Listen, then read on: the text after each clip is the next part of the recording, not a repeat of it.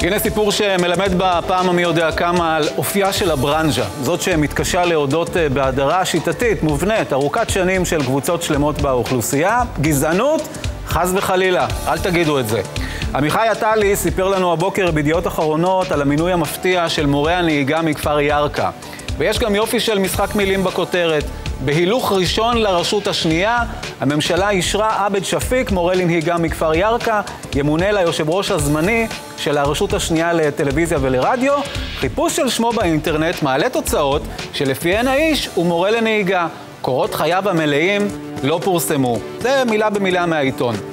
עטלי מצא באינטרנט תוצאות לפיהן מדובר כאמור במורה לנהיגה, אבל הוא התקשה כנראה להגיע לאתר הרשות השנייה כדי לגלות בין חברי המועצה את שפיק, ואיזה קטע, הנה קורות חייו, והוא לא רק מורה לנהיגה, הוא גם בעל תואר שני בניהול וארגון מערכות חינוך, יש לו תואר ראשון בחינוך ומדעי מדינה מאוניברסיטת בר אילן, הנדסאי מכונות ותעודת הוראה בוגר הטכניון, מורה מחנך ורכז בבית הספר המקיף אחווה, רכז כוח אדם טכנולוגי בטכניון. בקיצור, קורות החיים האלה בצירוף העובדות ששפיק הוא כבר שלוש שנים חבר מועצת הרשות השנייה, והוא קיבל את אישור הוועדה לבדיקת מינויים בחברות הממשלתיות.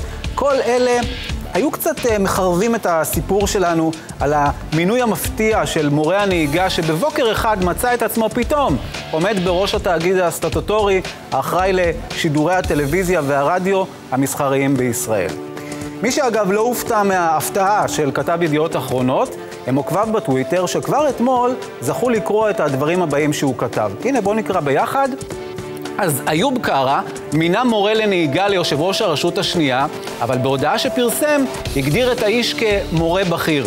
מצב רציני שמדובר באחד שלא נוגע בפרטים מסחרי עד ארבע טון. זאת הייתה רק ירייה ראשונה בצרור דחקות על המינוי הזה. הנה עקיבא נובי, כתב ערוץ 10, מרגיש שלא מספיק התעכבנו על העובדה הבלתי נתפסת שאיוב קרא מינה מורה לנהיגה לתפקיד יושב ראש מועצת הרשות השנייה.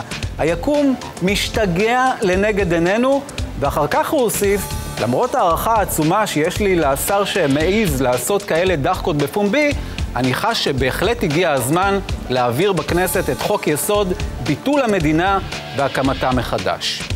אז מי כאן באמת הוא זה שעושה דחקות בפומבי? השר שממנה או העיתונאים שחיפשו באינטרנט ולא מצאו קורות חיים מלבד צמד המילים מורה לנהיגה?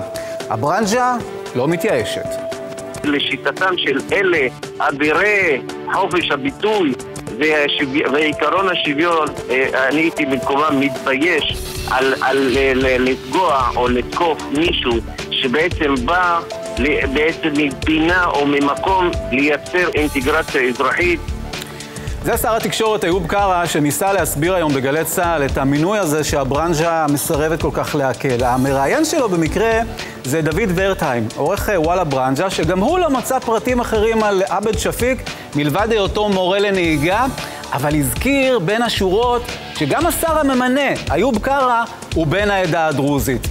ניסינו אגב למצוא דיווחים קודמים על מקרים אחרים, בהם דווח בוואלה ששר אשכנזי נניח מינה פלוני אשכנזי לתפקיד מסוים, אז דיווחים כאלה לא מצאנו.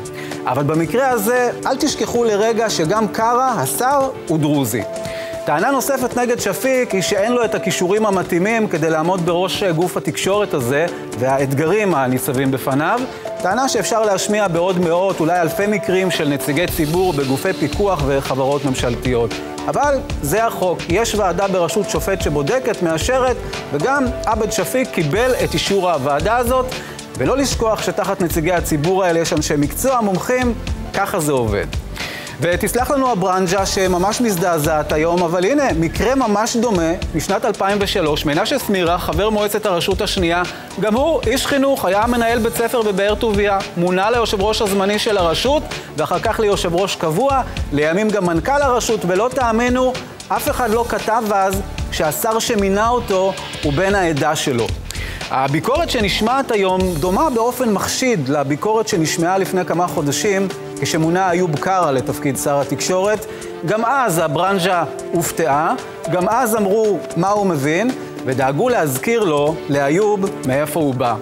אבל גזענות, חס וחלילה, אל תגידו את זה.